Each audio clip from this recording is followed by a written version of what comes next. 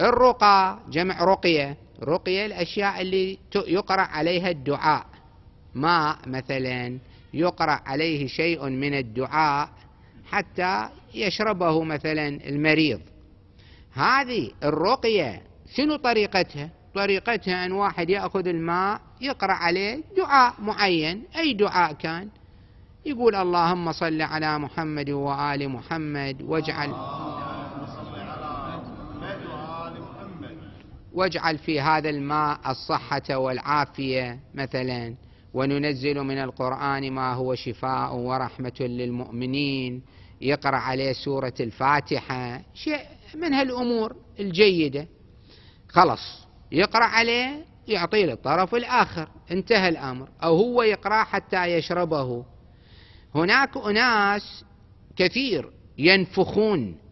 عقب ما يقرأ ينفخ. هذا مكروه منهي عنه. وبعضهم يتجاوز النفخ يبصق. شنو هذه؟ هذه وين موجودة؟ هذه قذارة أصلا مو صحيح أنه واحد يبصق في الماء. النفخ منهي عنه نفخ. فقط يقرأ الدعاء المطلوب وانتهى الأمر يعطيه للطرف الآخر. النفخ في الرقى مكروه. اثنين يعني رواية فيه. اثنين النفخ في الطعام الحار. طعام حار ما يقدر ياكله. ينفخ فيه ينفخ فيه حتى يبرده وياكل. ورد النهي عنه. قالوا رؤيا إحنا بالاثناء نسوي شوية لطايف من الاثناء شوية نلطف الجو. قالوا جلس أعرابي مع جماعة يأكلون. فكان يأخذ الطعام وهو حار يضعه في فمه ويحترق ينكوي ويبلعه. فقيل له دعه حتى يبرد.